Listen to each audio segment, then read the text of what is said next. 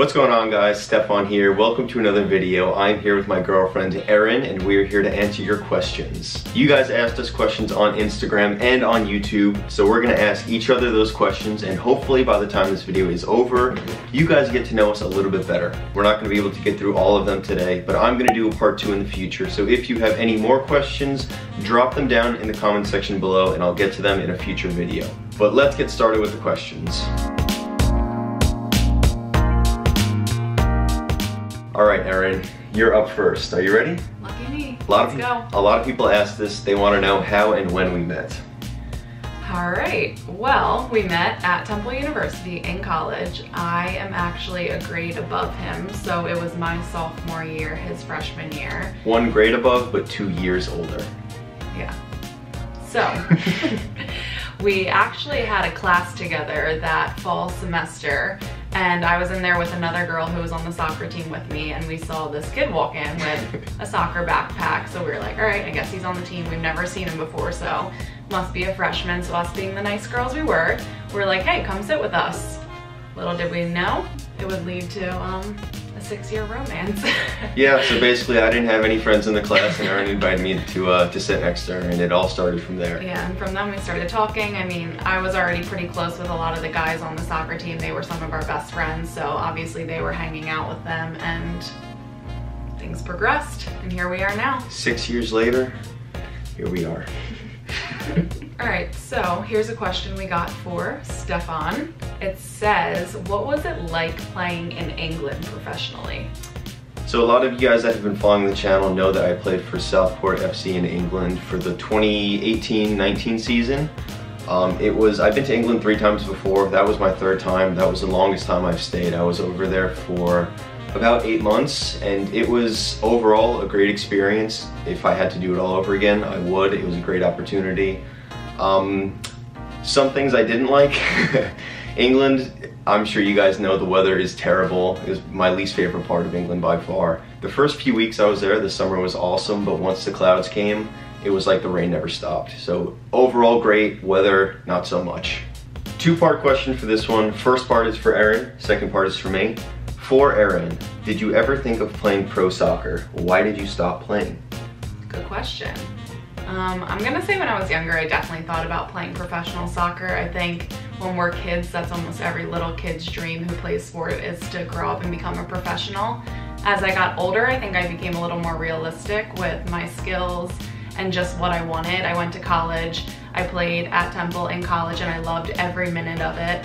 I think there were two big reasons why I didn't want to go further. One, I knew going into college I was majoring in speech therapy. I had to do two years of grad school after that and that's really where my mind was set. It wasn't playing soccer, it was getting this career that I knew would be stable and something that I love.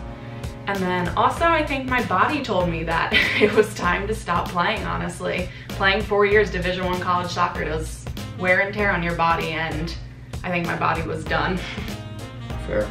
Yeah, but I loved it. I loved every minute of playing. I would never take it back, but my journey has come to an end. so the second one for Steph. How do you directly get in contact with teams and agents like in USL and USL League One? So, a little short story here. When I was in college, if you worked for a USL team in the front office or a coach, chances are you got four or five emails from me throughout those four years of college. I think every single year I reached out to teams.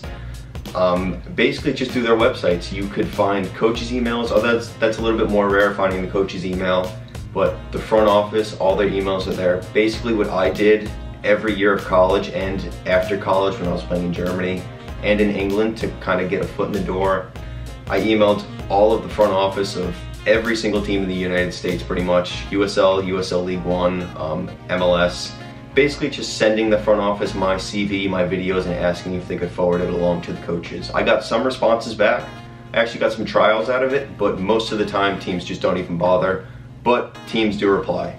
Persistence. Yes, and as far as agents, I found my current agent and other agents I've worked with in the past on transfermarkt.com.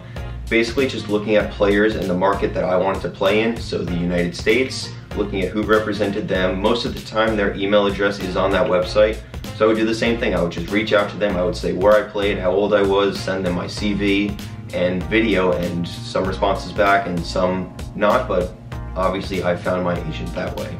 Next question is for Steph. It reads, where do you see yourself in the next five years? It's a really good question. A few people asked that kind of question and like what I'm gonna do after my professional career is done. That's something I think about a lot because I know this doesn't last forever. I'm 24 years old now, so five years from now, I'm gonna be 29, pushing 30. And I think at that point, I really wanna have that next stage of my life figured out, transitioning from soccer into something else. I think I always wanna stay in the sport somehow. Um, I studied exercise and sports science in college. I love the training aspect of it. I love the coaching. I love the playing. I, I love everything about this life, but soccer only lasts for so long. But my future plans, I would love to have my own training facility, my own gym, something like that, something that I can call my own and kind of share my experiences and guide players through similar situations that I was in. If I were to chime in, you guys, that was a very good answer because this guy has a very hard time picturing anything that's more than a week from now. So yes.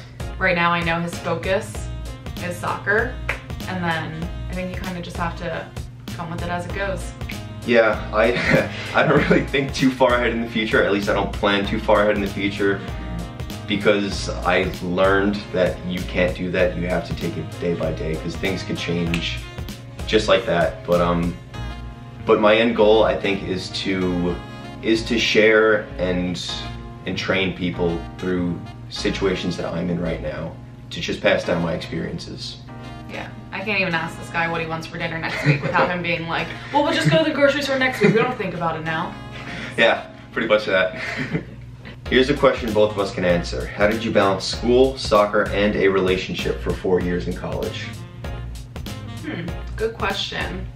I think it is a lot of work that you have to put in. Obviously, I think for both of us, we knew that we had school and soccer, so we kind of had to be understanding of each other's schedules and that there are times you're gonna be busy, but at the end of the day, you know that you're putting each other first and just realizing that you gotta do what you gotta do to make the relationship work.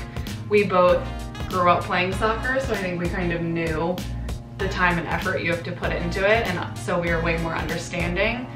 Um, for me, when we were on the road, it was really important to get a lot of my schoolwork done then. Like anytime you're sitting on a plane, sitting on a bus, that's free time that you have to get your schoolwork done. What do you have to add? Yeah, so basically it was nice because we both pretty much had the same schedule. We were both Division One athletes and college students at the same time. So I know that you have lift three days a week. I know you have training five days a week. I know you travel on the weekend for games, travel during the week for games. Same thing with me. So it's it's nice having somebody in the same situation as you to kind of work through it. And also to hold each other accountable and make sure, especially you with me, yes. making sure I'm getting my schoolwork done instead of just you know, putting putting it off last minute just because I want to hang out with you. Yeah. So uh, yeah, there were times you kicked me out just so uh, just so I would do my work. Or I would pull his work up for him and be like, all right, come on, let's answer this together. We got it. Yeah, Erin definitely helped me through college. Yeah, and it was nice because we actually had games on different days. I think yours were. Yeah, we had we played like Tuesday, Saturday, or something like that. yeah, we played Wednesday, Sunday, so we could kind of see each other's games too when they were home games or stream them online. Mhm. And that was nice that we weren't playing at the same time. Yeah, so we got to support each other throughout all those years, which was awesome. Yeah. Did you consider playing in any other country besides England and the US? I did. Short answer is I was willing to play absolutely anywhere um, in search of that next opportunity. After college, I had some connections in Germany, which took me there. I wanted to stay in the US. Unfortunately, it didn't work out at that time. So I ended up going to Germany to play for a little bit. And then um, in between that time, in between Germany and England, I got injured. And especially during that time, I was willing to go absolutely anywhere. I emailed teams literally all across the globe, all across the country. Um, and I got some interest from England, and that's kind of what took me over there. But I was willing to go absolutely anywhere. But the, the end goal was always to come back and play in the United States. And luckily, I am here playing in the USL now. All right, Erin, did you have any interest in other sports during your youth? That I did. Continue, elaborate. All right, Erin, did you have any interest in other sports during your youth? Definitely grew up in a sports family where we basically tried every single sport when we were younger, realized what we liked, what we didn't like. I have a brother and a sister. They grew up playing sports as well. My mom was an athlete, my dad was an athlete. So when I was younger, the sports that I really enjoyed and got into were soccer, obviously, swimming was a big one for me, and basketball were the three that I mostly played. Um, I think I tried out just about everything, t-ball, softball, field hockey. My mom tells me stories of how I would purposely not bring my cleats to field hockey because I hated it so much in like second grade and she would go to any parent and be like, do you have cleats for this girl? She'd want to kill me, but I didn't want to play. But my mom's rule always was, you signed up for the season, you finish the season. That's it, you didn't have to play ever again, but if you signed up, you played that season. I'll answer this question too. I started playing soccer when I was four years old, I think. Neither of my parents ever played. They were always athletes, but never soccer. But as soon as I started playing, I fell in love with it. I played baseball also when I was younger until I was about nine years old when I uh, when my mother dragged me out of the house because I didn't want to go to practice and made me tell the coach that I didn't want to play anymore. so I quit baseball at nine. I played one game of basketball before I stopped playing that as well. It just wasn't as much fun as soccer. So um, I'm not quite the athlete that Erin was, but uh, but yeah, that's my short experience in other sports. All right, guys, that's about it for now. We appreciate you submitting those questions. We had fun doing this, and we hope that gave you a little bit of an insight into our lives. Yes, and like I said before, I'm going to be doing a Q&A on my own, so ask more questions down below. I have some saved up from before that were very good. We didn't get to go through all of them, but thank you guys for watching. Stay tuned for next episode, and uh, like, comment, subscribe, and I will see you guys then. Peace. Peace!